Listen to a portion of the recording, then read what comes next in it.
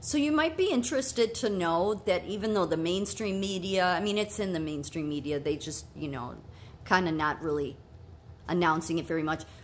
There's been a ton of biblical history proven discoveries. Yeah, now the science is at these sites, these archaeology sites, and of course, you know, now the good thing about this though is that there's many, there's, you know, like trios of universities, so hopefully that will keep people in check because the science, as I've said, will go out of its way to disprove the history of God because they want people to worship them. And of course, the higher educated will worship them even in the face of history being, um, even in, in the face of God Himself saying, No, I've had enough of this.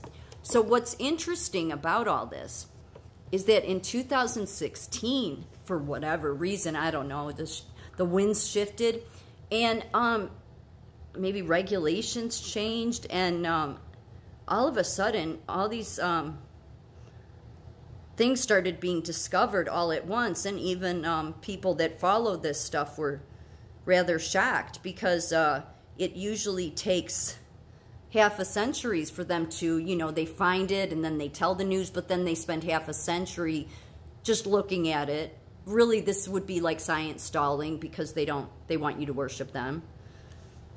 I, I think the science is showing how anti-Jesus they are, but I, I think God's had enough of that, and so they're just going to keep getting smacked down. That's my opinion.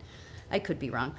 So, archaeology takes years, decades, and even half centuries. The painstaking work of digging, sifting is followed by longer stretches of waiting, analyzing, and interpreting.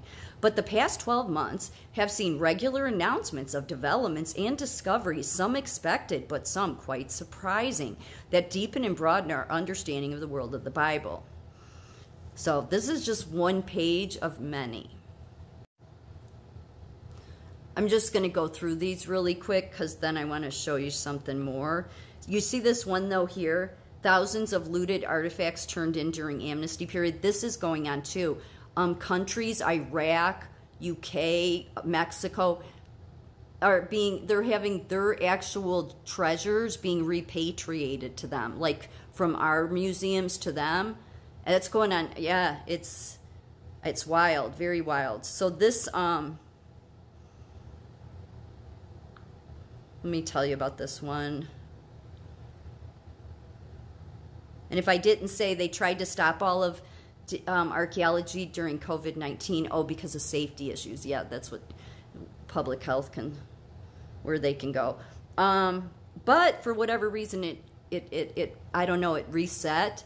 And then, um, I don't know, even more's come out now. Because again, when God says I've had enough, i am going to show truth, and that's what's going to happen.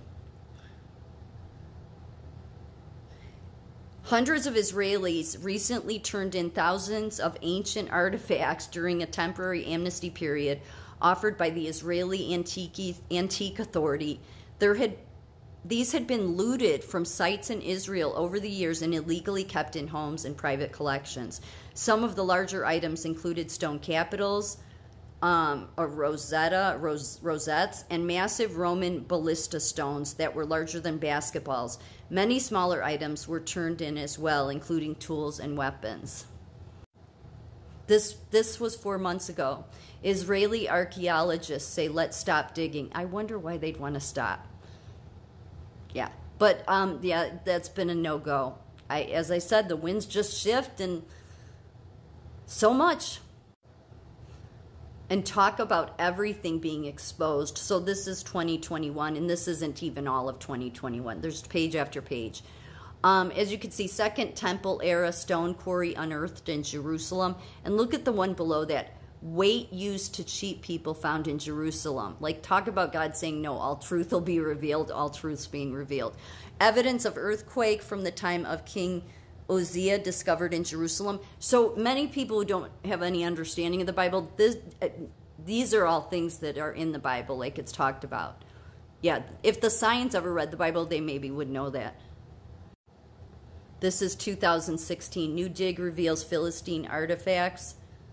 35 year old warrior's tomb discovered in Greece. Secret rooms in King Tut's tomb announced. Yeah, so see. Yeah. I can't tell you about all these, but there's a big one going on right now. I'll get to that in a minute. 2020, uh, Canaanite fortress discovered in southern Israel. The Canaanites were the ones that did the Baal worshiping. They sacrificed children. There's been stuff found on that too. Yep, idols. Idols like God talked about in the Bible. It's amazing, amazing. Um, and then Babylonian destruction in Ju- Jerusalem used to measure Earth's magnetic fields. I may have said that at the beginning. 2021 evidence of Roman crucifixion discovered in the UK. Rare coin from the Great Revolt discovered by 11 year old girl. Just all of this. It goes on and on. There's so much. I mean, even a toilet. Um, but there was not none of this that we were hearing about. And yet they're finding these idols. All of that stuff proves the history and things that Jesus talked about. Um, the science and will hate that because they want to be God, as I keep saying. So one of the biggest things, as I, I think I mentioned, they've they're repatriating um, countries with um, things that belong to them, and then I'm going to get to Noah's Ark in just a minute. So 2019, see here, researchers explore Egyptian mummy bones with X-rays and infrared light. So when this, when we're using like DNA technology and, and all this, this kind of stuff that we have and had for a long time, then we can get to the true history of this stuff. And so when you know we're doing that, then truly the truth can come out.